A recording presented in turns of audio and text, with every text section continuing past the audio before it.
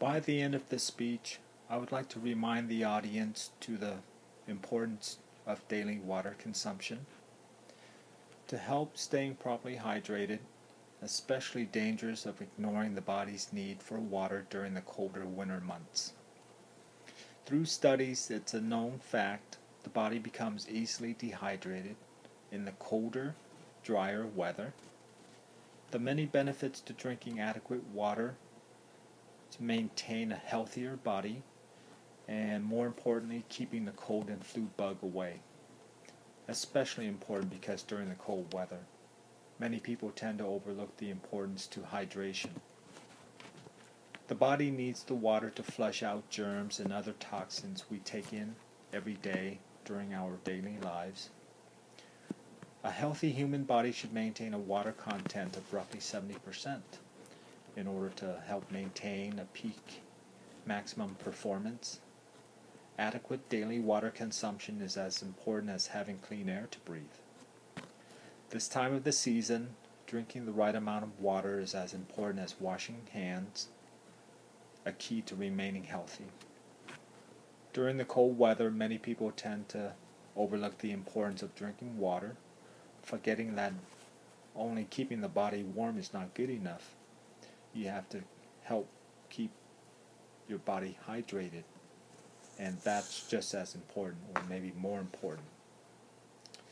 Too often, drinking water to stay hydrated seems to be an extra effort, forgotten completely by most people, especially during the colder, drier weather months.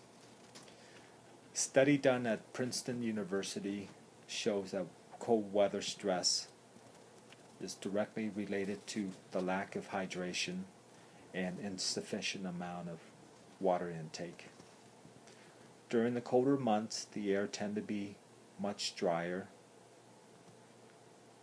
and much less water vapor and low humidity.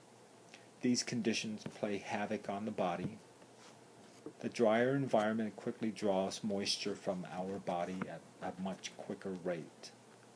Too often, people mistakenly assume during the chill, cold winter months water consumption is not as important or becomes an inconvenience.